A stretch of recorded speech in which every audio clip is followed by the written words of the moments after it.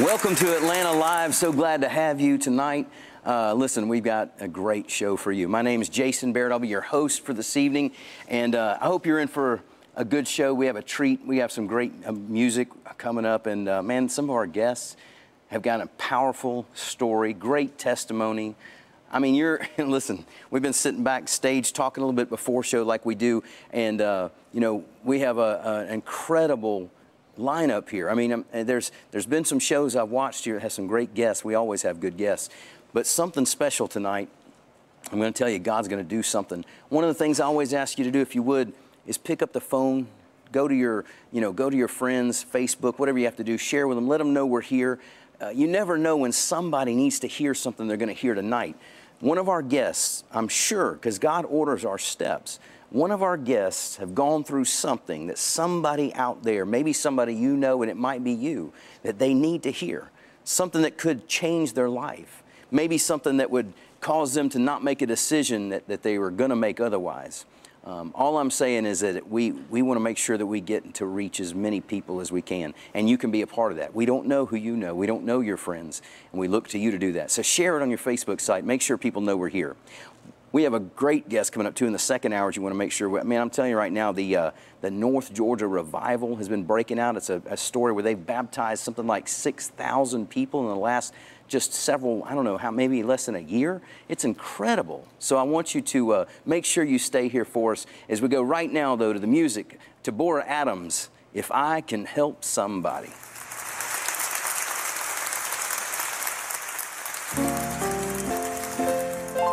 Good evening. everybody.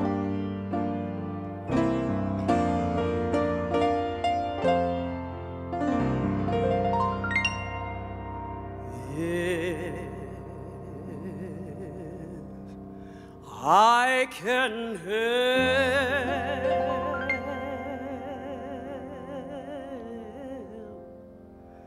somebody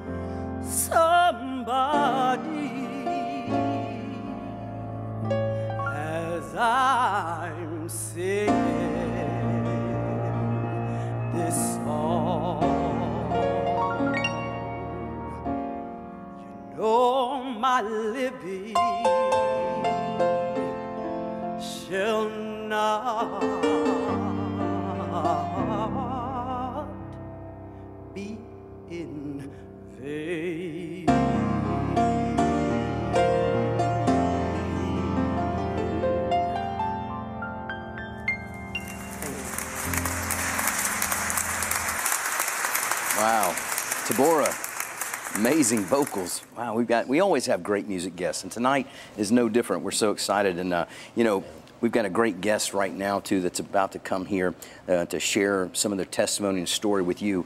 Um, they operate uh, some drug rehab ministry, um, and he's written a book, and him and his wife are here to share from their experiences. I want to just introduce you real quickly to Steve Fallin and his wife. Ruth. How you doing? Yeah. Ruth. Hi. Stephen Ruth Good Fallin. How you doing? So good to meet you. Good to be here. guys. So glad to Yeah. see you guys. So tell us a little bit about, um, you know, like what, what, what brings you here? What is? Tell us a little bit about your book.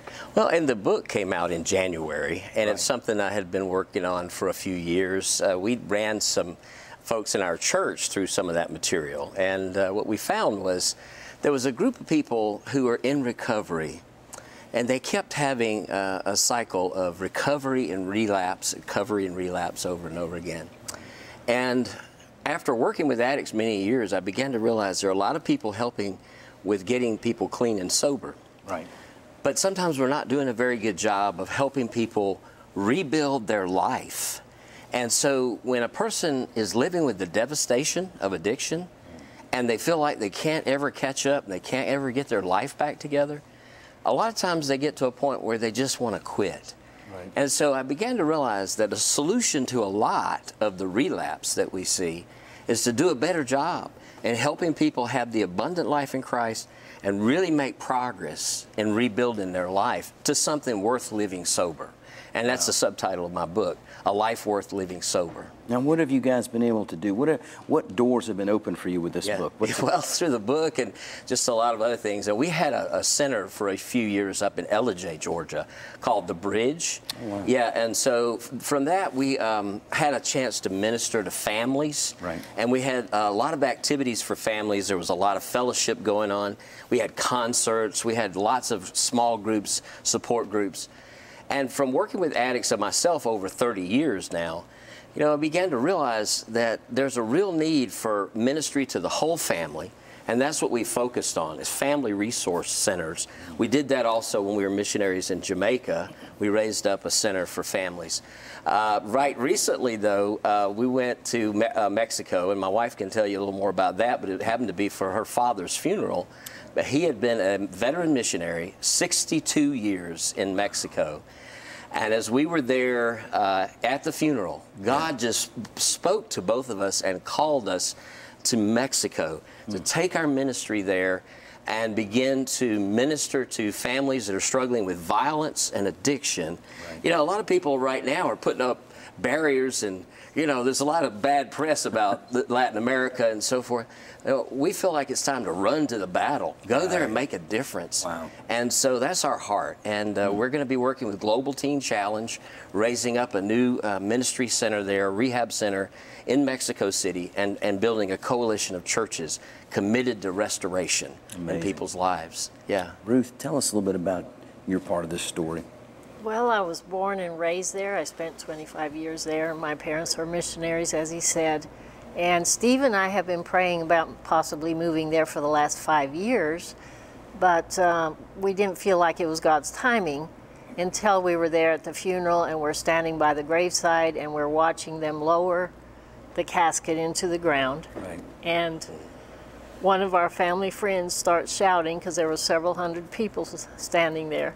He starts shouting, This is a seed we're planting in this land of Mexico, and it's up to all of us to see that this seed bears fruit.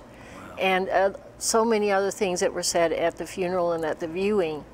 We, we just looked at each other and said, It's, time. It's time. It's time to yeah. go. It's amazing. Yeah. And I've been working with domestic violence the last five years, so, so I'll be working with victims of domestic violence. So and when she goes to Mexico, other women there that, that know her, and she has lots of friends there because she grew up there. Right. And they're just drawn to her when they have been suffering um, some kind of violence or problem in their home, and And unfortunately, Latin America has more than its fair share of domestic violence and different problems that go on.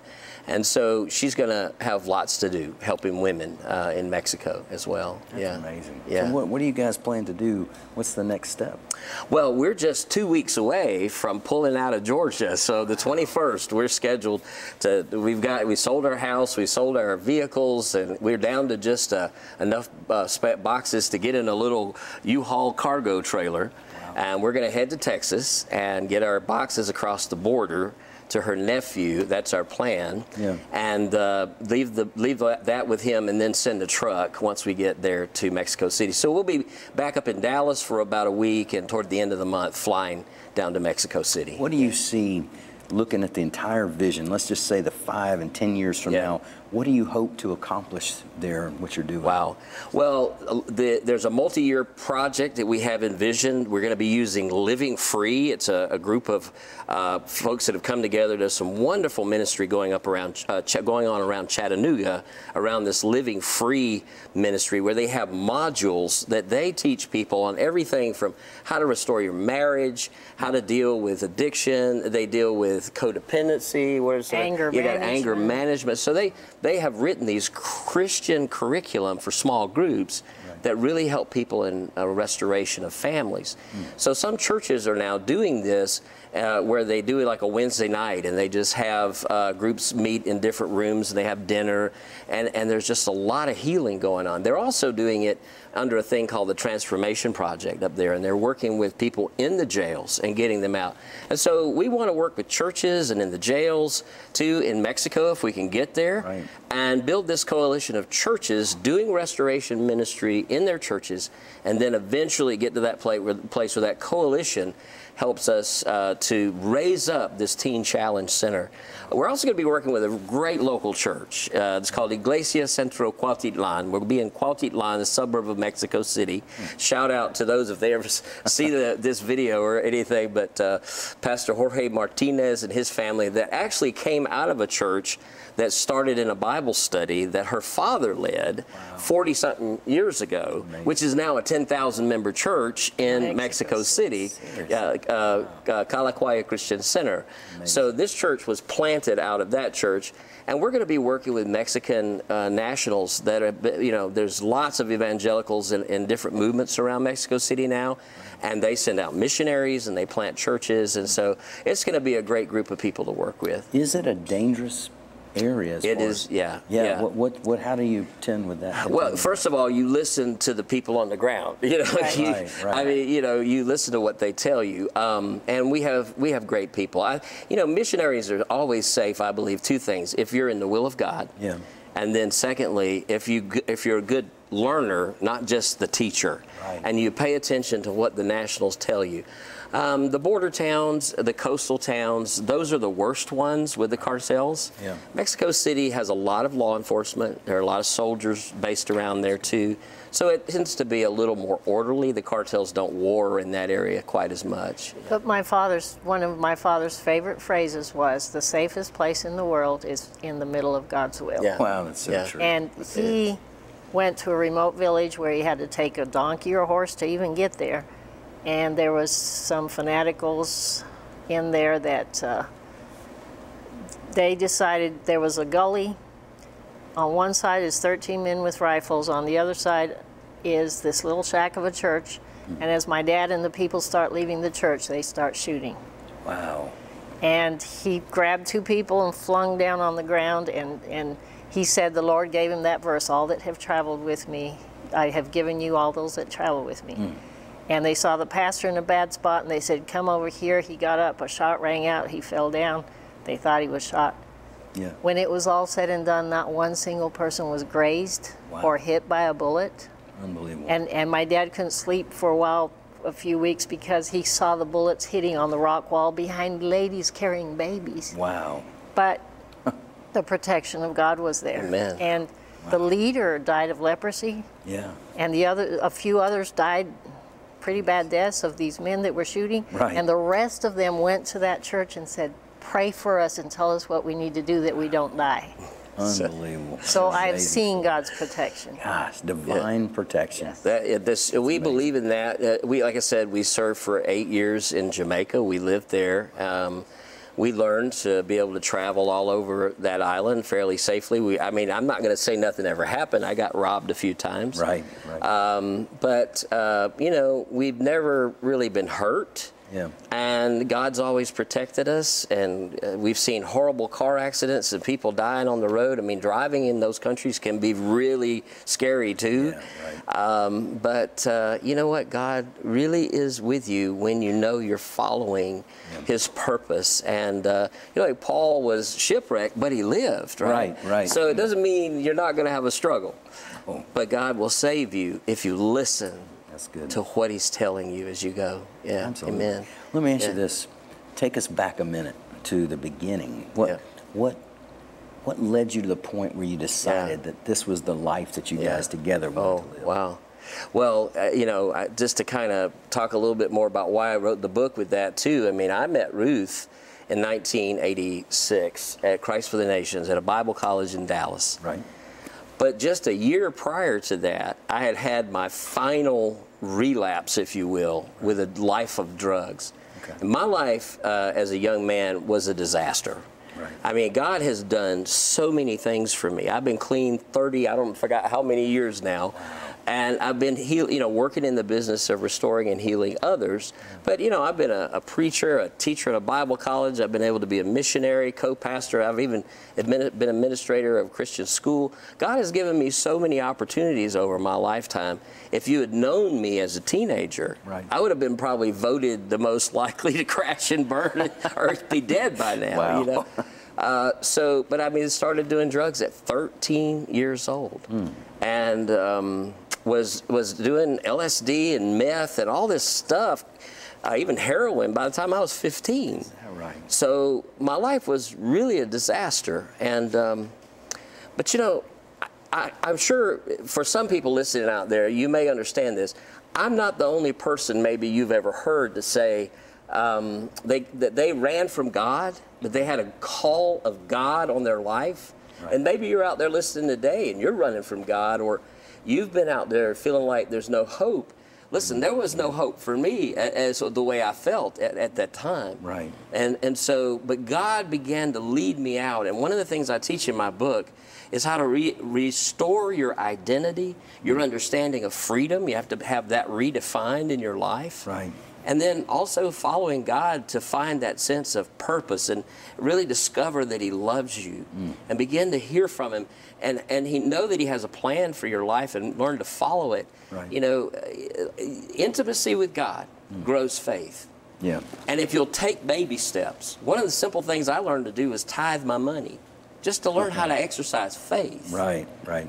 But there's so many things that God will teach you if you will listen and- and begin to follow. And I had to be obedient to a lot of things Yeah. to get out of that life. Right. But I know it can be done. And so, but then we met in 86 and she took me down to Mexico and I was smitten. I was like, I mean, her father, her father was the coolest thing I'd ever seen. You know, I mean, I just loved him. And um, there was never a verse in the Bible that I couldn't ask him about. And he couldn't just sit there and teach you on it for a half an hour, you know, and, and cross reference. He was a walking Yeah, oh my. Wow. One of the most learned men I ever met. Really? And, uh, but I mean, he was also a man who was fearless and an adventurer, and he just had this zest for just being, living life to the full and sharing the gospel. Right. To me, he was like a Christian version of Indiana Jones, you know? So, and, uh, Bullets flying and bouncing off so, rocks, yeah, right? he was he was the real deal, though. Wow. You know, and he taught me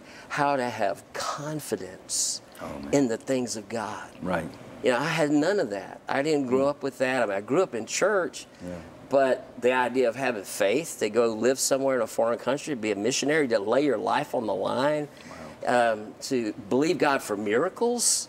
Yeah, I didn't. I didn't really understand that growing up, Gosh. and uh, it blew my world wide open getting to know her family. And so That's amazing. uh, yeah, and then a few years later, we got married. Uh, well, yep, a year, less than a year later, after the first time I went down there, we got married in their first year, 87, and then um, we went to Regent University for a while up in Virginia Beach, and then we went to Jamaica to teach at a Bible college together, and we were there for eight years. So we were working with crack addicts on the streets of Montego Bay Right. during the last three years of that time. So we cut our teeth on some pretty hard cases, you know. Imagine, man. You guys have seen some stuff. Yeah, yeah. You know, we got about a, maybe a minute and a half left or so. I just want to find out what what can we do to get your book or, or get find more information out on you guys or you know just if you will tell us what we can do to help. Yeah.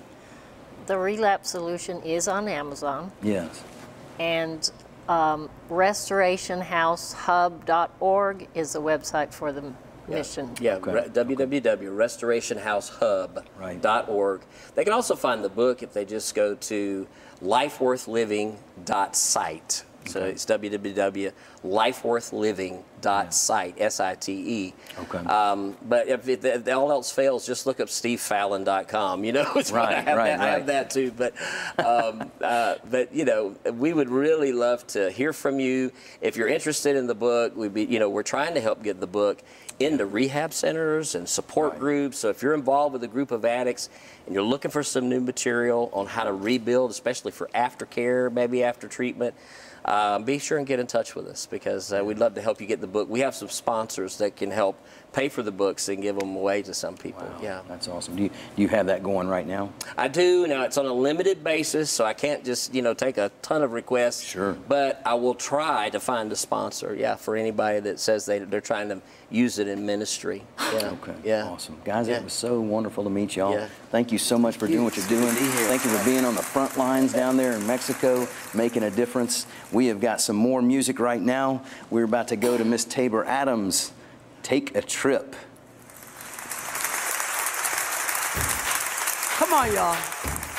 I know you're in your house, but you put your hands together for this. Come on, Matthew. Yeah. Y'all gonna come on this ride with me? I'm going to take a trip on that good old gospel ship and we gon' sailing through the air. I'm going to take a trip on that good old gospel ship, yeah,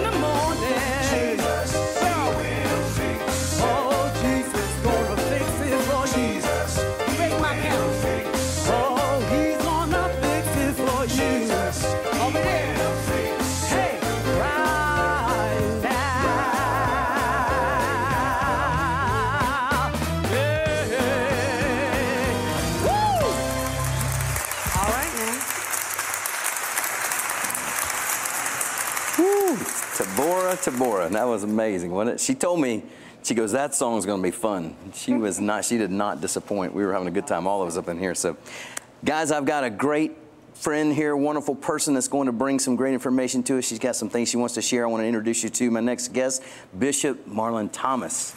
How you doing, Bishop Thomas? I'm doing good. How are you? I'm doing great, having a good time tonight. yeah. Wonderful show. Got great guests like yourself. Thank if you. If you will, tell us how you got started and what you're doing and, and a little bit about yourself. You know, that's it's, it's that's kind of loaded right there. that's right. you know, that song got me fired up. I was ready to shout and praise God and everything. but you know, I tell you, God is doing so many amazing things. I'm the senior pastor at Lifeline Family Worship Center. Been pastoring for 16 years. Wow. Yes, yes. And this year we celebrated this February our 16th year. And God is just doing so many great things there at Lifeline. I'm just so thankful to the Lord for what He's doing and the growth of the ministry and just how He's just sending people that just love Him. And our vision is building strong leaders for the kingdom of God. And so that's exactly what we're doing. You know, we're building strong leaders for the kingdom of God. Amazing. Where, where did you start in ministry at? Like, like where, what was the time and age when you decided, you know, this is what I want to do with the rest of my life? Nine years old. Is that right? The Lord called me at nine years old. We, Wow. I lived in East Orange, New Jersey, Yeah. and um, there was a family that lived in the apartment building that I grew up in, and they attended church, and I would see the church van come and pick them up, and I asked my mom, "Mom, "Can I go to church with them?" And she was like, "Sure." And so I started attending church with them, and here I am. And I tell people I've had the same passion for God. Um, now that I've always had all throughout my life. Haven't been perfect. I'm Right. not gonna Right, sure. I'm not going to, you know, portray that, but Yeah. I have really always been passionate for God. So, Did you have parents that were in the ministry as well? no, my parents Really? were not in the ministry. I actually led my mother to Christ. I was Wow. raised in a single parent home. Shout out to all the single parent moms. Yes. And uh, I was raised in a single parent home, and my grandmother lived there, and my sister. And so, no, I led all three of them to God at nine years old. I always say they were my first church members. Oh yeah. Well, now let me ask you this. Yes. At nine years old, who planted the seed in you? How did that go? Like, like who was the first? Somebody reach out to you at a vacation Bible school and invite you to come or something? Like, how did that go? I, you know, if I had to trace it back, um, we would come down what we call South. We called Georgia South back then, Yeah. living, growing up in New Jersey. Right. And um, and my great grandmother would take us to church every Sunday. We would spend one month out of the summer with her. Yeah. And I believe that those Sundays and those vacation Bible schools, every summer, you know, Yeah. that we were there, seemed like she took us from one church to the next church Mm, that's to vacation Yeah, right, right. And so the seed had to be planted at some point during amazing. that time, and we would get back to New Jersey and go back to life as normal. We take it for granted sometimes, you know, when we just an invitation to bring somebody to church. You know, nowadays especially people are like, oh, I don't want to push my faith on them, whatever. But think about how impacting it's been. Exactly. How many souls have been touched because of your ministry? Yeah. And the thing about it is the same thing with children because I was just a child. And most people, you know, uh, sometimes discount um, children when it comes to ministry. And I'm certain somewhere along that line, those vacation Bible school and Sunday services, the seed, I tell people all the time, Pastor, that the seed of the word, God said his word won't return void. Amen. So when that seed, you know, is sown, mm. it's not coming back void. God has that that seed of the word, it's going to spring forth fruit. No one would have known that it would have been from me at nine. And then here I am, we ain't gonna talk about how old I am, but a couple of years later, you Right, know, right, right. Here I am now pastoring and, you know, leading other pastors and Amazing. doing so many great things for the kingdom of God. That is incredible. Yeah. What kind of uh, what kind of team leadership uh, building are you guys doing? You said you you had some things where y'all sending people out and equipping them, things like that. How how does that look? What is It's, you know what, we are doing great. We will actually launch Lifeline Virginia uh, on June 2nd of this year. I'm so excited. Pastors Chris and Alicia Stone, they're going to be pastoring Lifeline Virginia.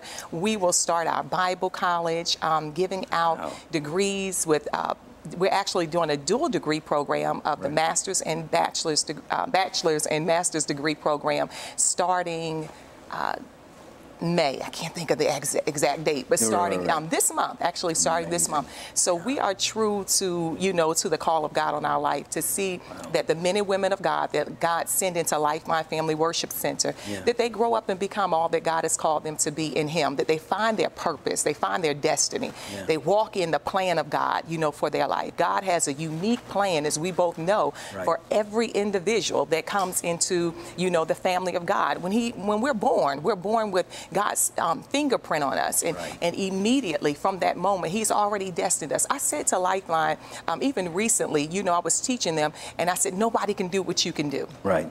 What God has called each one of us to do, I don't care how good somebody else is doing what they're called to do, nobody can do what we're called to do. Everybody has their own unique call, their own unique assignment. Right. And that's one thing that I encourage pastors because when you're young in the ministry or just ministry leaders, oftentimes, uh, one thing that's lacking is mentorship. And so many young pastors or young starting out in ministry, you know, they're just trying to discover it. They're comparing their ministries to either Yes. Larger ministries and they're waiting for this sudden boom of, Right. you know, growth and that sort of thing. And it's like you have to just stay in your lane. Right. Find what God has for you and work that vision. You know, God is going to send provision, He's going to send the people, but you have to work that vision. That's incredible. I always look for people like you that, that are that are giving. Because uh, listen, I, I I made a commitment to myself. I'm never going to stop learning.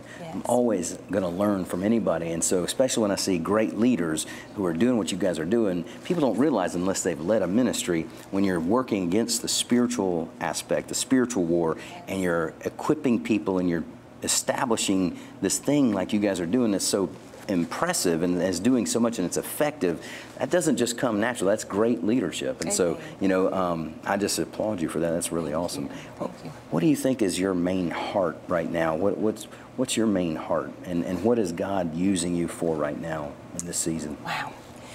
One thing that I have coming up um, is I'm doing a Mother's Day brunch for mothers of deceased children. My oldest son was killed um, in 2000, October of 2016, and I tell you, that was the darkest season of my life. Right, Um, right. I questioned everything about God. I have to be honest. And Yeah, sometimes yeah. people think as a pastor and a leader, you have all the answers, that Oh, you no. can go through life's highs, lows, tragedies, ins, out, and that you just bounce back. Because we preach faith, you know, we live faith. Yeah. But that was a time where my faith was on trial. Hmm. And I questioned God. I wanted to know why my child. You know, Right. I even said to God, Lord, I've been serving you since nine years old. Okay, I haven't crossed every T and dotted every, you know, I, but I've been faithful to the call of God on my life. And um, and I, I just couldn't believe, you know, that God would call my son home. Right. And so what I decided to do, even though I was going through the healing process, I was still pastoring. Um, it was like God just gave me so much energy. I can't even explain it, honestly. He gave me so much energy. And it was just one project after the other project that God just kept giving me.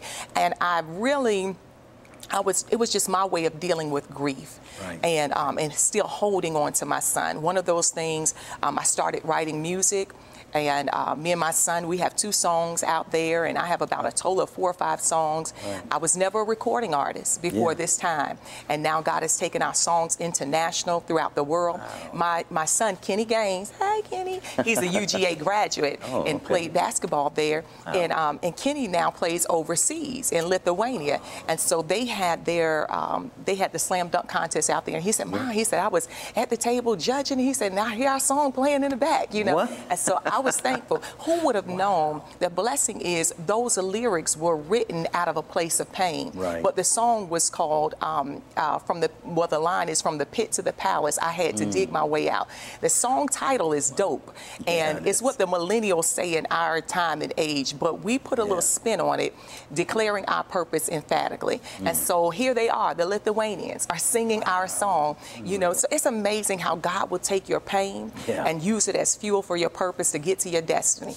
I wrote a book, and here I am this Saturday, Yeah. May 11th. Um, I'm doing a free Mother's Day brunch from mothers of deceased children. I wanted to do something so special. You know, um, oftentimes if you haven't, and no one wants to go through that, but if you haven't experienced it or know someone close, Yeah. you never stop missing, loving, or mourning your child. You know, uh, people think that it's, you know, you two years, five years, 15 years, 20 years. right. You never stop missing your child. That child is still close to you. Right. And so I wanted to do something where mothers could come together and we could just lean on one another. We could be each other's strength, you know, a support group, a support system. I, I was saying to someone actually yesterday, Megan, I was telling Megan, I said, I believe that God brought me to a place of healing in it, that I'm now in a position that I can help others to walk through that dark tunnel. Wow. Isn't that amazing? Yeah. Who would have ever thought that that kind of healing can come? Only God can do that, right? I mean, Only God. oh, I can't imagine. What if you had the question asked to you? Because I'm sure there's somebody watching us right now, and there's no telling if they have gone through similar. Um, and let's just say they're locked up in a prison of, of pain and bitterness, and they've just not been able to get out of it. What would be the best advice that you could give them? You know, the one thing that I would tell anybody, any mom or, or dad that has experienced the loss of your child, um, I would first tell you that, you know, my heart goes out to you. That's the first thing. My heart goes out to you. No one deserves to bury their children. But, you know, you have to just take grief in your own timing. You know, that's the that's the key thing. I know that I could not have done it if it wasn't I could not have gone through it if it wasn't for God. I needed God. Yes, I questioned God. Um, even as a pastor, I questioned God, you know, and I wanted to know, you know, like I was saying earlier, why my son, why my child? But it's ironic that if you put your faith and your trust in him that he will teach you how to find the purpose in the pain. And this is the thing about it pastor is that i pastor a church that some may consider a small church. We're less than 50 people you know in our ministry. And we're in a storefront building as some would say. And so you may not have heard of lifeline family worship center before that. But god took that place of pain. He mm. took that and he built a platform Right. out of my son's death because I said yes to writing a book. I said yes to writing the songs. Right. I said yes to keep going. He took that pain, he built a platform, and now people who probably never heard of Lifeline Family Worship Center or Bishop Marilyn Thomas, they now have heard of me. Right, But it takes you saying yes. Sometimes you have to just pull pull yourself together. I know what it's like. I thank God for my husband, Dr. Freeman Thomas, who walked me through that. You know, a loving Mm. church family that was there. And I know that the times are hard, but you have to make up your mind to say, you know, this is not the end of the script. I always tell Lifeline, you got to look at life that it's just a comma. It's not a period. It's not the end of the story. Right. You know, you go through grief again in your own time, and you don't have to let anyone rush you. That was the Mm. thing about it. I think at times I was so busy trying to get back to pastoring Yeah. because as pastors, we are just naturally, you know, um, we love to help. You know, we love to serve. And when you have a smaller ministry, you know, you're doing more than pastoring. You're doing a lot more. You're scrubbing toilets and all kinds of stuff, right? Yes, exactly. You're doing more than just, you know, Right. the normal. And so Yeah. that's the thing about it. You know, there was no staff that I could depend on. You know, there was no associate pastors that was going to come and let me take six months off. But the blessing in not having so much of the support system that I wished at times I could have had, Yeah. I found my strength in God. And I believe that me preaching every Sunday, I preached the Sunday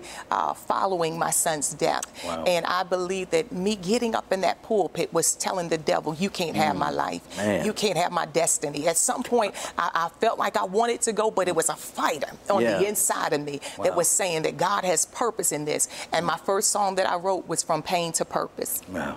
And we did um, we did a conference out of that you know honoring my son's memory Yeah. and then from pain to purpose you know and all these songs you can get them on justmarlin.org as well you know but the thing about it i found the purpose in the pain i decided not to sit where i was but to honor my son's memory and legacy Mm. you know and and let the world know he was here that That's was what it was all about his life was not in vain That's so awesome. Yeah. We got about 30 seconds left. Yes. If you would share with us a little more about this event you have coming, time, location, that kind of thing, how we can get signed up for that? Okay, yes, it is Saturday, May the 11th at 11 o'clock a.m. to 1:30 um, p.m. at Lifeline Family Worship Center, 138 Rainbow Way in Fayetteville, Georgia. And you can register. It's free. All you have to do is text 770-885-9490. Just text your name. We'll reply back with um, letting you know that you're registered. And I would love to have you as my special guest. I want to share so much to, to the moms on Mother's Day, and I just want to help you smile again. Bishop Marilyn, you are an inspiration. Thank, Thank you you. so much Thank for coming and sharing your story. Thank you for having Guys, me. if some of you have a prayer request, we just want you to call that number right now as we go to the phones. Good evening, everyone, and thank you for joining me here at the Atlanta Live Prayer Room. My name is Marissa Daniel, and I am a proud member of Beyond the Veil Ministries, located in Fayetteville, Georgia, under the leadership of Senior Pastor Sheldon Pritchard. My sisters and brothers, I come to you this evening to please dial in if you are in need of prayer. We have some prayer soldiers that is here today that is willing to pray with you. So don't hesitate. Pick up the phone and please dial the number at the bottom of your screen at 770-300-9828. We will love to pray with you. Also, for those of you who are compelled this evening to give your lives to Christ, today could be the beginning of your life if you say yes to Christ. Romans chapter 10, verses 9 and 10 states, Say it with your mouth, believe in your heart that Jesus Christ is your Lord and Savior. If you believe that, then you are born again. So please say this prayer with me. Father, I know I am a sinner and I ask you to forgive me. I believe Christ died for me and God has raised Jesus from the dead. I want to turn away from my sins. Jesus, come into my heart and be my personal Lord and Savior. I promise to obey you and follow you all the days of my life. Now, this is the day that the Lord has made, and we shall rejoice and be glad in it. If you are in need of prayer, if you need an encouraging word, if you need someone to stand in agreement with you, feel free to give us a call. We are here for you. God says, when two or more are gathered in His name, that He is in the midst. So please, we want to thank God because this evening I received a praise report that Miss Denise got her a new job. Now, that is a testimony, and we thank God for blessing Denise. So feel free, ladies and gentlemen, if you guys are in need of prayer, if you have a testimony that you want to share, if you want to vent, if you need someone to talk to, feel free to dial the number at the bottom of your screen. My family, my church family is here for you. Now let's go ahead and go back to the set. I'm Marissa Daniel. It's real important, guys, for you to be talking to these prayer team uh, folks. That's what they're here for. And you can see now, based on some of the conversations we have with our guests, why it's important for you to reach out and share. You never know who's going through something that one of our guests, the story, the testimony. See, the Bible says we overcome the enemy by the blood of the Lamb and the word of our testimony. It's our stories that make a difference. It's what we've been through that makes a difference. Make sure you share and reach out to somebody that might need to hear what we're talking about. I'm on the set here now talking to my friend Taborah. Taborah, how you doing? I'm good. So awesome. Good. We've had such a good time. Have you been having a good time tonight? I have been having a good awesome, time. Awesome. Excellent. You're making this beautiful music. You have amazing vote. All of us out here are just like, what in the world? Where is that coming from? Little frame and big voice, right? Yes, I get that a lot. I bet. Yes. I bet. So, let, but let me ask you now. I bet this this has been birthed in you somehow, some way. Usually, like I know you've shared a little bit, but tell us a little bit about the the pain side that's brought some of this beautiful music out. Well, um, I can tell you about my last song that I've written. I just can't do it. Yeah. Um, it was inspired. I, I have a mental illness. I have bipolar disorder. Okay. And um, it was inspired through my depression at one time that I was going through. Right. I just can't do it. Yeah. I can't Oh, do wow. it without God. Right. Right. Um, and I understood that I didn't have to feel like this. Yeah. And so I got in touch with my uh, physician. Right. And got on some other medication. Yes. To balance it out. Right. Right. I also want to talk about the fact that I'm graduating this Saturday, Awesome. Shaw University, with my master's in divinity. Amazing. So um, Congratulations. you can accomplish things regardless of what you're walking with. Right. How did it make you feel when you got that diagnosis? When you, you know, like when they said you had bipolar disorder, what was the first thoughts that came through your mind? I was excited. You, were you, I was excited because Yeah. it helped me to understand why I did the things that I did, why I acted the way that I did. Right. Right. Why i put myself in certain situations that I shouldn't have put myself in. Sure. Yeah, that makes a lot And so. I actually went to the um, pharmacy. Yeah. And um, I'm for, I, I've got a funny personality. And I, re- I went back and I said, I'm bipolar. Give me my medicine. Wow. Because I wanted to know what it would feel like to be normal, Yeah. so to speak. Right, right. Okay. Wow. But, you know, I want to talk about it because it's something that people don't talk about in the community. That's true. Um, they put a stigma on mental illness, and I've got three degrees. Right. I've got an interior design degree, I have an organizational leadership degree, and now I've got my master's. Amazing. So there's nothing that you can't do No. with God. Nothing you can't do. That's right. amazing. So you uh, you also said you have a little bit of a uh, something I struggle with too, where we tend to see squirrels every time we're focused on something, right? Like, what? Uh, share a little bit about that. ADHD? Yes. Yeah. Well, you keep 10 tabs open on the computer and you're bouncing back and forth between them all. Right. Uh, it was funny because we dealt with the bipolar first. Yeah. And then we uh, moved on to the um, ADHD. And um, I'm on medication and everything is balanced. And I tell everybody, Yeah. A lot of people have mental illnesses that they don't know about. Right. A lot of teenagers Yeah. have illnesses, and parents tend to think that they're just going through um, a teenage, you know, situation. It's going to be all right when you get a little older. Right. And they come home and their children have committed suicide or done different things Yeah. to affect themselves. They're cutters or they're, they're, Right. they have an illness. Yeah. Yeah. And it's important to uh, recognize um, depression. It's not always situational. Right. Sometimes it's uh, an illness. It's medical. clinical. Right. Right. Absolutely. And it needs to be treated. Wow. So it's just important that um, parents and that people who are older, I mean, I didn't find out, I'm 55 on May 30th. wow. And I didn't find out I was bipolar until I was 48. Wow. Right. Well, we just want you to know that we're here for you, and we appreciate you bearing your soul Yeah. and sharing, because a lot of people need to hear what you're Right. gone through, and all of that difficulty and pain that you've gone through. It produces the most beautiful music, and we're Thank so you. grateful for you being here with us. Thank you. Well, I plan on allowing God to use me to minister Amen. and um, to be the voice, uh, you know, say the things that maybe people don't want to say. All right. Well, let's hear this next one. What you got coming up for us? His eyes on the sparrow. All right. Thank you, guys. Thank you. Thank you.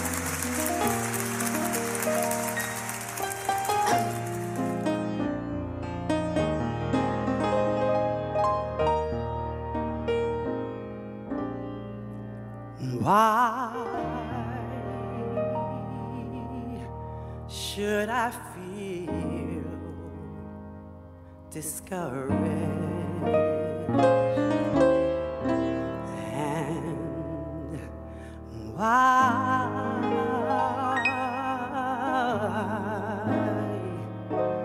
does the shadow come?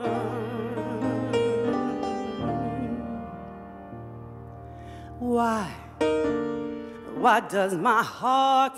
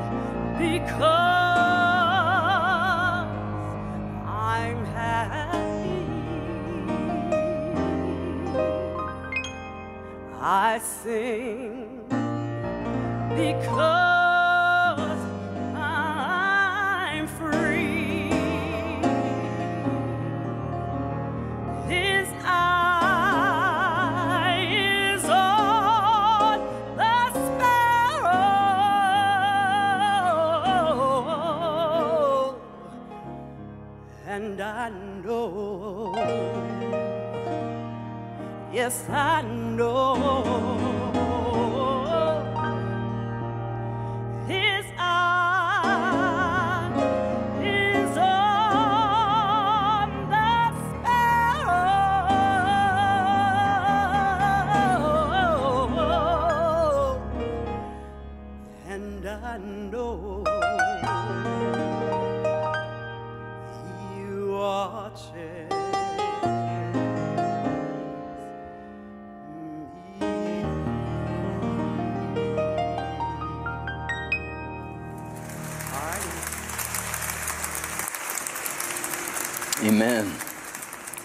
song.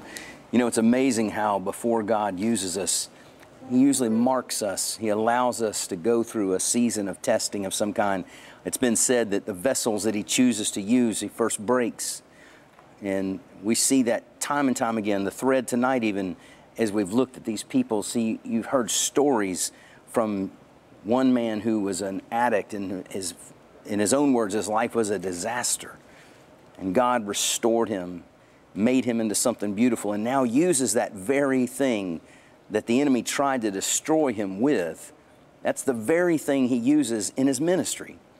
And then, Bishop, you see where she had such a great loss that most people can't even begin to fathom and understand. But God's taken that deep pain, the darkest day of her life, and is using it to fulfill the ministry, the call, the purpose in her life.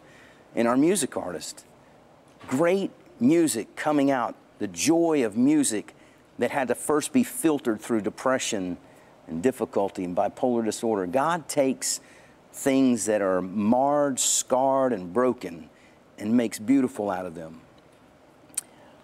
As I was on the way here tonight, actually, I always ask the Lord, what does He want me to talk about if I get a chance to talk some? And, you know, one of the things that He put in my heart just on the way here, and I believe now after seeing kind of the guests and talking to them, this is the theme of the show, I believe, and that is that, you know, I look at the story of Ruth.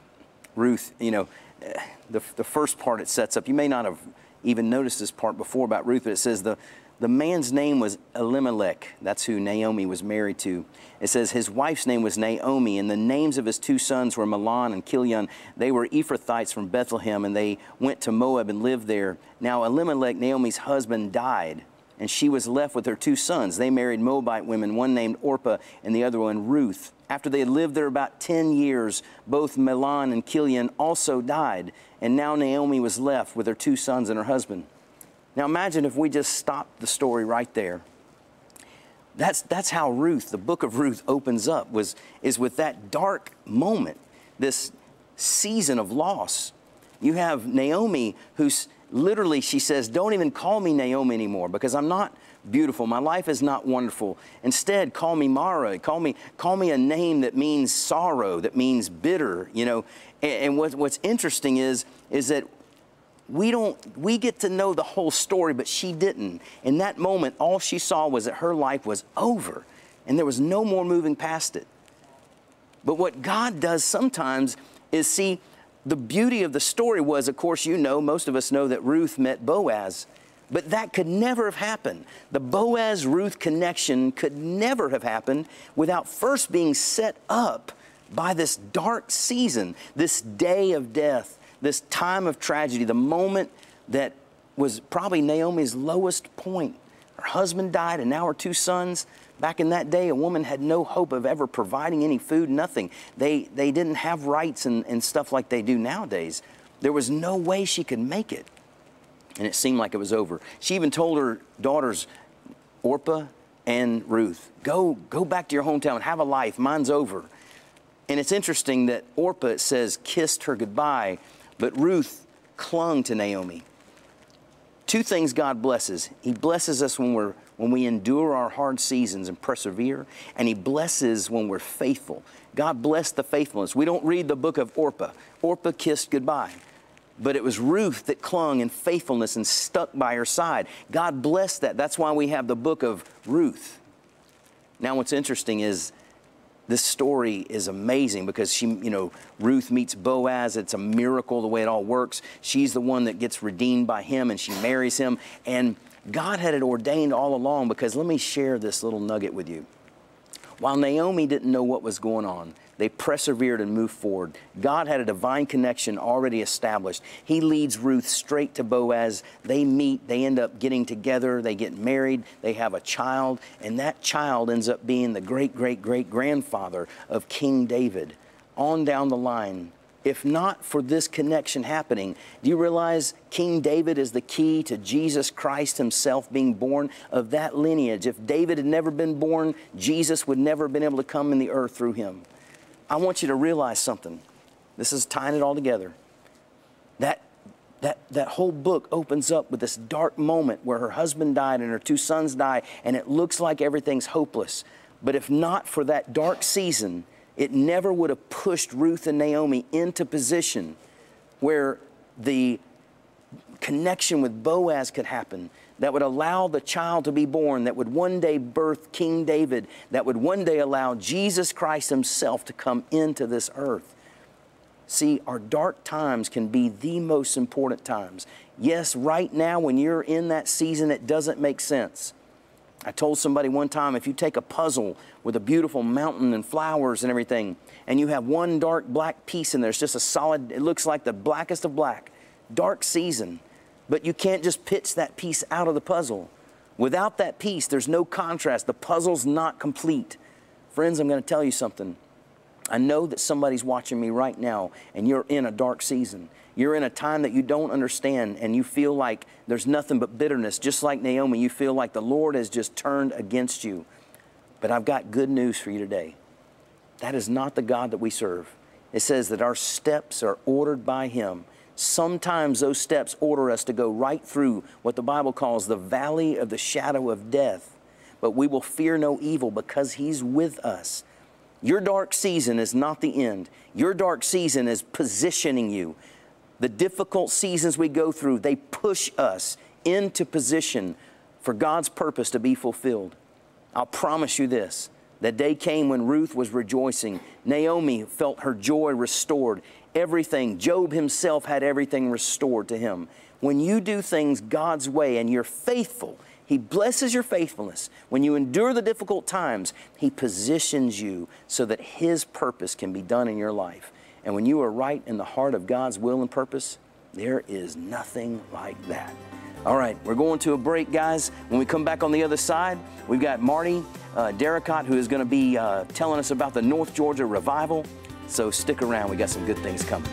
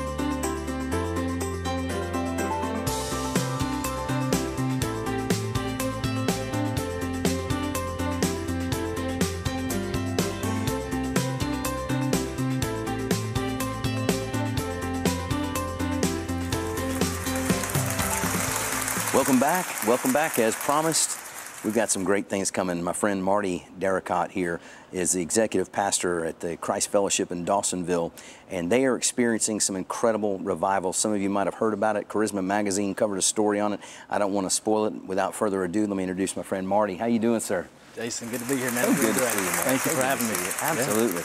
What in the world is going on in Dawsonville? Wow.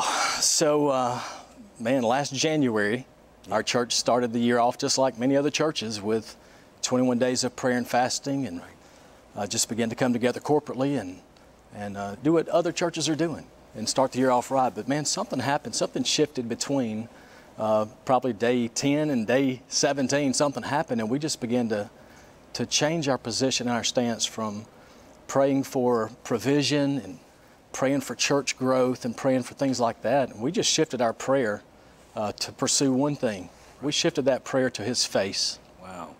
to His face. And, um, you know, the psalmist wrote, and he said, Lord, when you said, Seek my face, my heart says, Your face, Lord, I will seek. And so we turned that prayer to not wanting what's in His hand, Right. but just like Moses prayed, God, show us your glory. We didn't pray for revival. We Right. didn't pray for church growth or programs. We prayed for his face. Wow. And, uh, and he honored that. So, February the 10th of last year, Yeah. um, revival, awakening, movement, whatever you want to call it, Hmm. it began to happen there in, uh, in Dawsonville, Georgia, 139 Hightower Parkway. God said, This is the place Right. That I want to choose to pour out my spirit. And, uh, you know, in just over, what, 14 months, I guess now, we've baptized just under 6,400 people. 6,400 people. 6,400 people in, uh, in, that, in that short time frame. And, you know, we were talking off air, people are flying in from all over the nation, the world. Um, this past, past weekend, Sunday night, we baptized in three different baptismal pools because the, the growth and the attendance has just got so, so much, there's so much desperation, so much Wow. thirst and hunger Right. uh, from the people. We're looking for the authentic. Yes. That's what people are hungry for, the authentic. Feel Show me what's real. real. Right, right, I've right. seen the fake. I've seen the counterfeit. Yeah. Show me what's real. Wow. And when the real shows up, revival breaks out. God, God moves among, among His people, and so Hmm. uh, that that's what kind of started this whole thing. Our pastor, uh, a former Baptist pastor, and never had an open vision before in his life, and he's in the sanctuary praying as we pray five to six hours a week corporately now. Right. Uh, he was in there praying one one time and. Uh, was walking across the platform and looked at the baptismal pool, and of course it was empty and the lights were down low, and he was praying. Yeah. But he had an open vision, and the Lord showed him that baptistry full of water. Mm. And the Lord spoke to him, and he said, If you'll fill that thing with water, if you'll baptize with water, I'll baptize in Holy Spirit and with fire. Wow. And it's it's Matthew 3. It's what it's what John said that uh, one coming after me. I'll baptize you in water, but there's one coming after me. Right. He will baptize you in Holy Spirit and with fire. And since then, the attendance has went from 100 to 200 to 500 to, you know, some nights they'll be up to around 2,200 people and having to send people home. We just don't have the space to put them. It kind of seems like it has the feel of like the Brownsville revival that broke out so many years back that some of us might remember. Um, so, so what, what are some of the testimonies you've been hearing? Not, not people aren't just coming and being baptized, but they are coming up out of the water with healings, right? Like, Yeah, so it's anything from uh, from migraines, uh, 20 years of constant migraines, 22 years, I think it was actually of the testimony of this young girl that 22 years just suffered with intense headaches and migraines. And she came to be baptized in the water. She heard that God was moving in our church and moving in the altar and moving in the baptis- uh, baptismal pool, and she came and uh, gets healed. And uh, 22 years of migraines gone. Wow. Because when God shows up, darkness flees, yes, amen. sickness flees, disease has to scatter. Wow. And so uh, that, that's, that's what it is. And people ask all the time, uh, Jason, they, they ask all the time, why, why water? Right. Why the baptismal pool? Yeah. 6,400 people baptized. Why did God choose water? Well, I don't know. Right. I don't know why God chose a bush to burn and not be consumed to speak to his, his servant. I don't know. Right. I don't know why you could take a stick and throw it down and it become a snake and pick it back up as a stick again. I don't understand. I don't Right. understand why Balaam's donkey had to speak. Right. But I'm glad that he chose something Yeah. To reveal himself to his people. And it just happens to be a, a baptismal pool Wow. in Dawsonville, Georgia, of all places. Amazing. And so this revival, it's nameless, it's faceless. Yeah. It's Dawsonville, Georgia, for crying out loud. And Right. it's kind of ironic that Dawsonville is known for its moonshine, the moonshine festivals. Wow. Uh, moonshine back in the day was called fire water. Oh, that's right. And so it's just a very prophetic thing that God would choose something that the world has turned for evil. God says, "No, I'll restore it, and I'll bring I'll bring my fire back." And so, why water? I don't know. It, it, I do know this: that no revival uh, throughout history is the same. Some Right. there's tons of conversions. Yeah. Some there's healings. This one's got a little bit of makeup of all of it. And so revival doesn't have to look like what we think it is. You can't schedule it. Right, And right. Uh, it's it's not an event. Yeah. Revival is not an event. Revival is when God awakens dead hearts and brings them back to life. And so, uh, yeah, no flame is the same, man. That's this revival is a little bit different. But one of the testimonies is migraines. One is a, a lady who was uh, stage four cancer, Wow. terminal cancer. You're dying. Really? And uh, she had a PET scan scheduled for to be in Gainesville. And a Yeah. friend of hers had heard about the revival and said, "Hey, you need to go check out this revival in Dawsonville the Sunday night before your PET scan." Right. So she gets in the water. Her name's Lorraine Barge. She gets in the water with her husband John, and I always ask four questions: What's your name? Where are you from? Yeah. What do you want the Lord to do tonight? And do you want to hold your nose? And so uh, she she said, "I think it'd be real cool if I go to the doctor tomorrow for my PET scan and they find no cancer." Man. And I said, like I do many Sunday nights, our team says that's that's where we're going to hook our faith. We're going to put our faith with your faith. So that's what we prayed. Wow. Lord, it would be so cool tomorrow if Lorraine got to go to this this PET scan and they would Yeah. find no cancer in her body. We'll give you all the glory. We Yeah. won't we won't give the glory to the baptismal pool or any Right. person or any man or ministry. Right. God will give you all the glory. And so she goes for that PET scan. Yeah. The doctors come in and bring their team and say, listen, we cannot explain Mm. this. Here's your x-ray of the 50 cancerous lesions in your body. Unbelievable. And here's what we find today. And they put that picture up of zero cancer Wow. in that lady's body. that is amazing, man.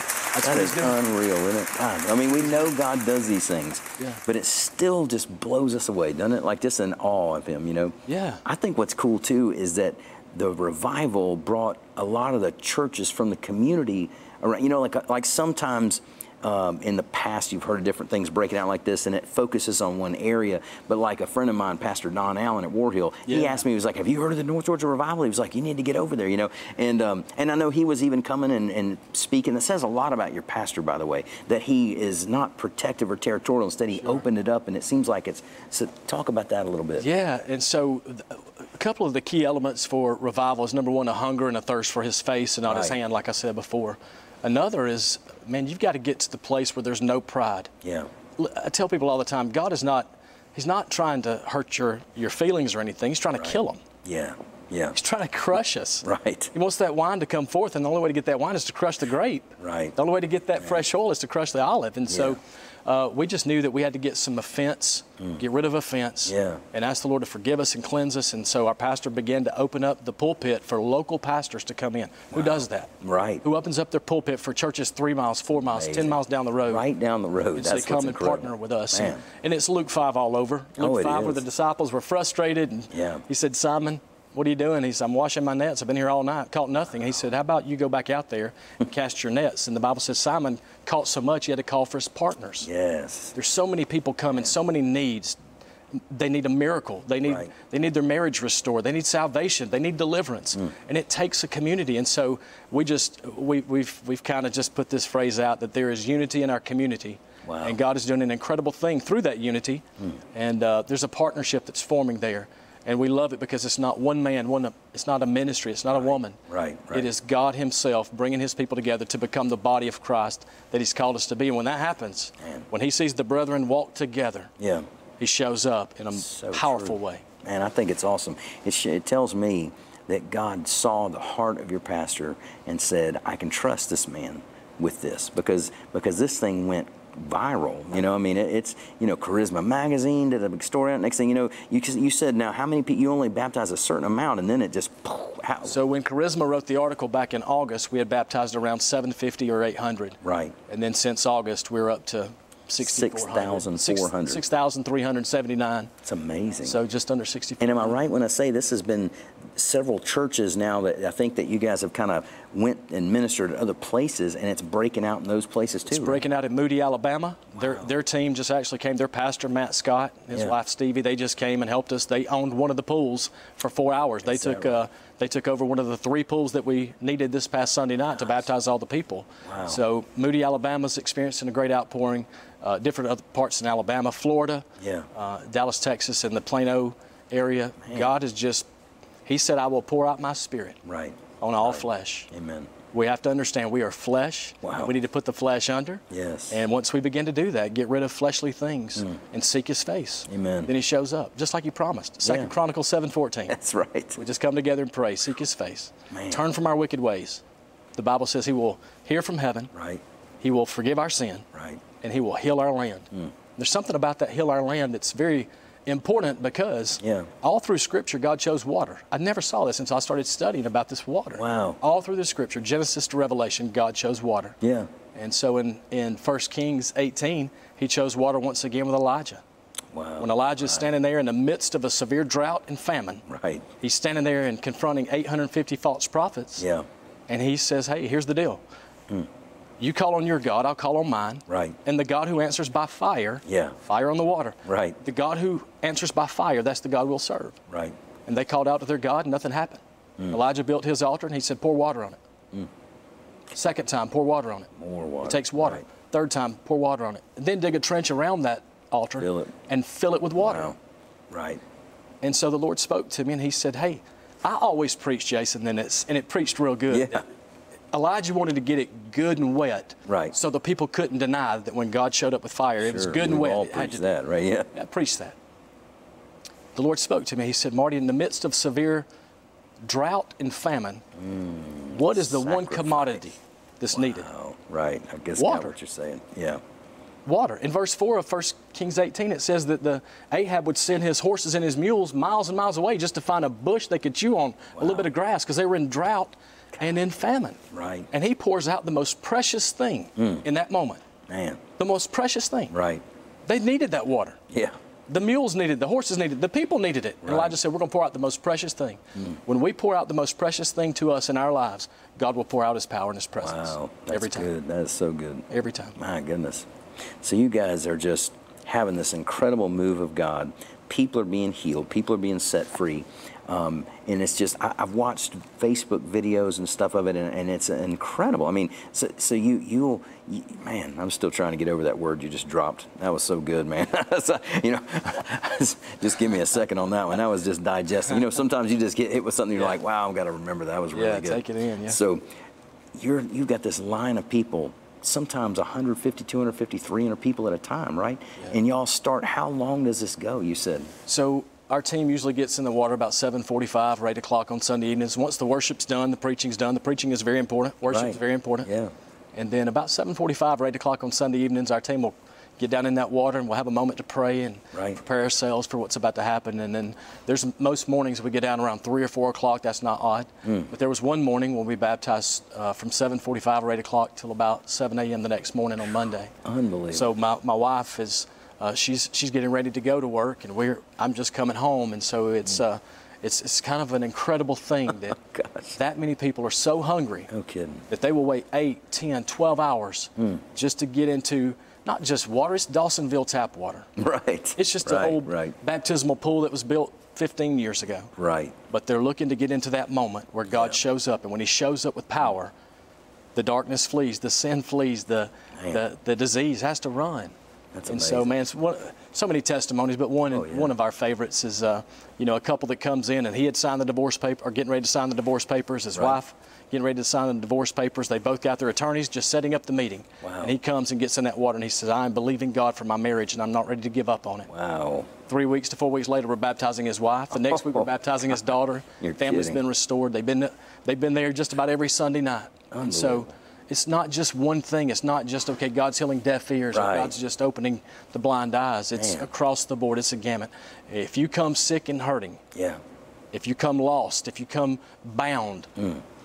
God loves to deliver. He loves to seek and save the lost. That's His heart. That's why Jesus came right to right. heal the brokenhearted, to, to set captives free. That's why he came. And so it's such an honor to be able to host his presence. We're not hosting this great revival, we're hosting his presence. And so, amazing. what an honor, man. We got about two minutes left. I want you to share just a minute about if somebody is listening right now and they are like, I got to get to that fire water. You know, um, what is the time frame, schedule, all that? How does that all look, and how and what do they need to expect when they're coming? Yeah, so so Sunday evenings at five o'clock, four forty-five, the doors will open. Five o'clock, we'll have corporate prayer. We believe that prayer is the catalyst for Oh, revival. yeah, right. Prayer is the catalyst. There's Right. no other way around it. Yeah. There's no secret ingredient other than prayer. Right. And so at 5 o'clock, we begin prayer. 6 o'clock, the service starts. Around 7.45, we'll open up the baptistry for baptism candidates. They give an altar call, the guest speakers. They'll give an altar call for those who want to be ministered to at the altar. And then an altar call for those who want to jump straight into the baptistry, begin um, ministry time there. And so you don't have to bring anything.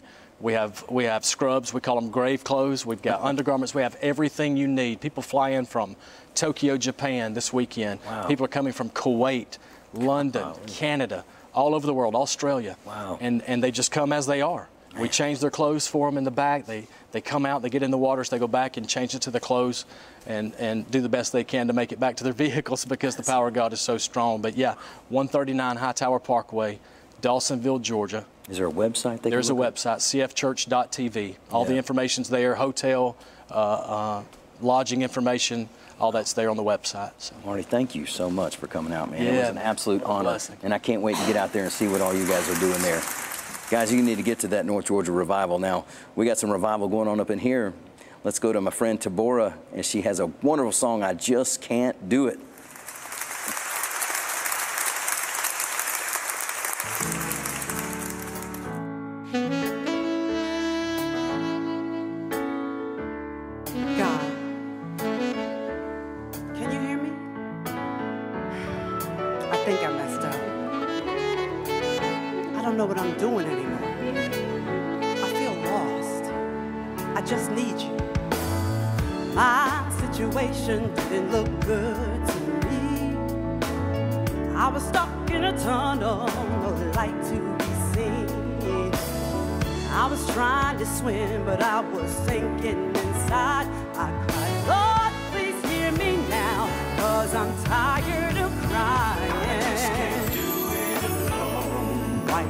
Tears from my eyes. I'm gonna surrender myself. I can't even deny I tried it without you, but I'm trusting you now. Only God can do it. He gon' work it on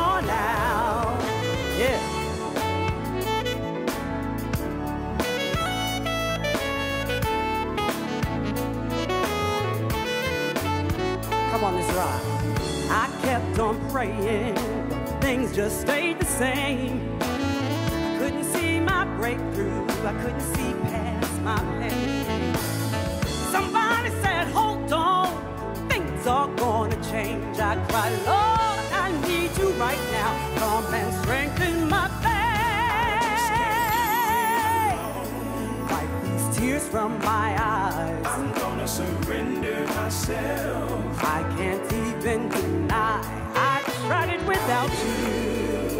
But I'm trusting you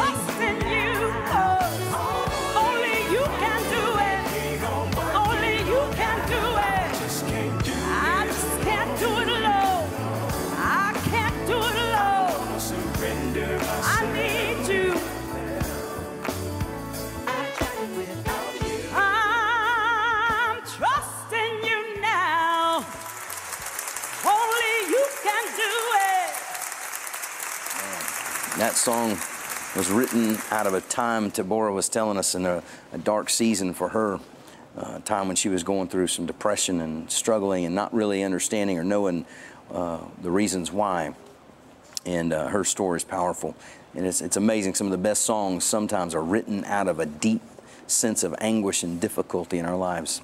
Well, um, we don't have much more time today, but what we do have time for is to, we want to let you know that the phones are here for you. The prayer warriors are here. We're going to talk a little bit about some of the requests. Me and Pastor Marty here are going to pray over your requests, actually. Uh, Marty, do you have some, some requests there too to pray over? Who, who needs our prayers tonight? Yeah, there's uh, a lady who's overwhelmed with her work and responsibilities, and uh, Kim with some stomach virus going on right now.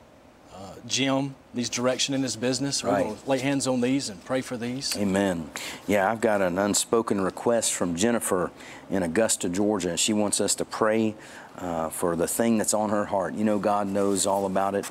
Um, and then we have the Evans family. They've had the loss of a loved one. Uh, we're going to pray for them for healing and restoration. Um, then Reggie's dad had heart procedure with eight stents. But you know, God's a healer. And we've heard about stage four cancer being overnight being lifted. So God can heal and do anything. Well, um, Pastor Marty, would you mind just leading us in some prayer over these requests? If Be you honored to. Yeah, absolutely. Father, we just come before you right now, Lord Jesus. We thank you that you are healer and you love us so much, God. You love us so much. You said, Jesus, not only to die for our sins, Lord, but to take away our sickness, our disease, our heartache. And Father, we just lift these up to you. Every situation, nothing too big, nothing too small for you. Lord, we pray for direction for business, for Jim, God, that you would make crooked ways straight for him. Thank you, Jesus. Lord, that you would give him supernatural wisdom. And, and Lord, you would open doors no man could shut, and shut every door no man could open. Thank you, Lord. Lord, for this precious family who's lost a loved one, Thank you, Jesus. God, would you, would you bring peace and comfort to them? That peace that passes all understanding, Lord. Thank you. God, we just speak that over that family right now. Peace be still. In the midst of chaos, that your peace would overwhelm them right now. Lord, for this precious lady with a stomach virus and some issues going on. Lord, you said in Jeremiah, you came to heal our wounds and, and God, to restore our health. So we speak that over our precious friend right now, that right now, Thank you, right now, she lays her hand over her stomach, God, that your healing power would flow through this airway, through through this television set, God, and go to her and minister to her. Thank you, Your healing power and your touch on her life, Father.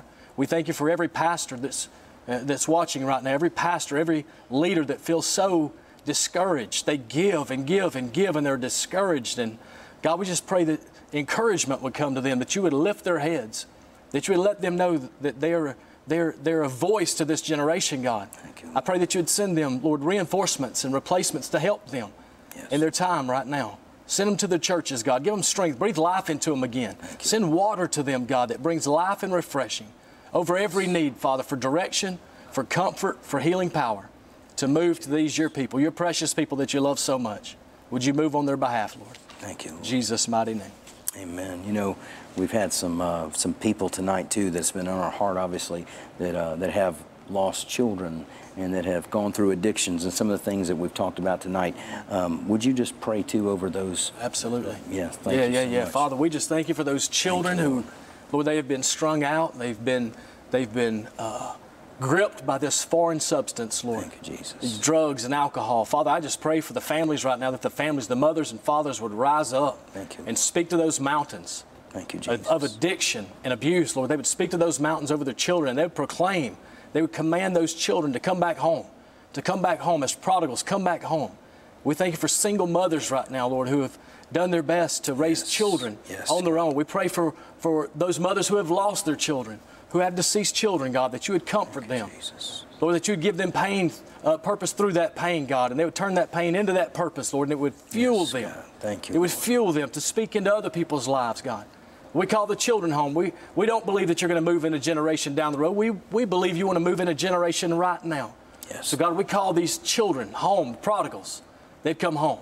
That you would move mightily, God, that you would send an awakening to middle schoolers and high schoolers and young adults. And it wouldn't just be mama's revival and grandma's revival, but it would be a revival of the youth, Lord Jesus. Yes, Lord. That you pour out your spirit, Lord, on all flesh, that your fire would fall. Thank you, Jesus. In Jesus' mighty name. Amen. Amen. Amen. And we just got about a minute left. Tell us about this youth event you guys have at your church. Yeah, yeah, yeah. So youth conference coming up. It's the North Georgia Revival Youth Conference, July 5 through 7. We've got uh, that Friday night, July 5th.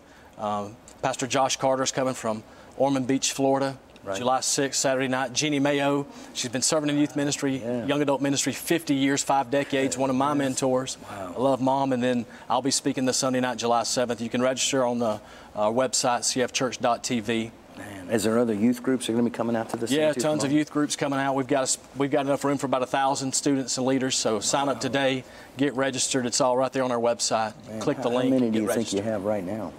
Oh, I don't know. I know one thing. It'll Yeah. be it'll be pandemonium when they get there. We'll be baptizing every night. So Oh, that's- so listen, youth pastors, you've been something. you've been believing for revival in your students. Get them signed up. Get them hmm. registered. And listen, Yes. there's there's tons of conferences out there with games and gimmicks and things like that. We will not be that.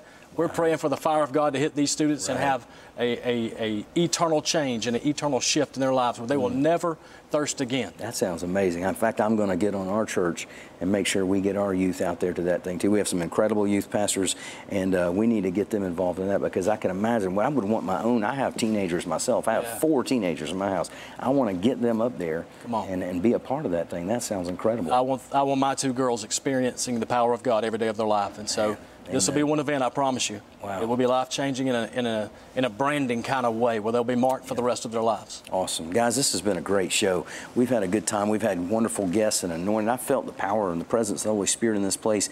And uh, as you know, there's some good things going on. Make sure that you get to these events, guys. Look them up. Look the websites up. Uh, this is Facebook streamed, which is great because if you miss something, you just rewind and go back and you can find the address, the information, the website you need. We need youth groups to get signed up for this thing. The, the, the Mother's Day event, too, that's, uh, that Bishop is putting on. You need to check that out as well. Um, that- we've got good things. And then look into the, uh, the, the, the addiction ministry of the Fallins. They, they have a great ministry as well. So thank you so much for your time tonight. Before we leave, we just want to say a brief prayer and a blessing over you. Father, in Jesus' name, we bless you, your people, God. We just command right now, Father, that those on the out there that are watching us now, that your favor and your blessing would be upon them, God. Bless the fruit of their womb as you promised, God. Bless their children. Cause them to be the head and not the tail, above only and not beneath, Father. We declare in Jesus' mighty name. And everybody said, Amen. Amen. Thank you so much. Come see us again now tomorrow night. We'll be here at 7 o'clock.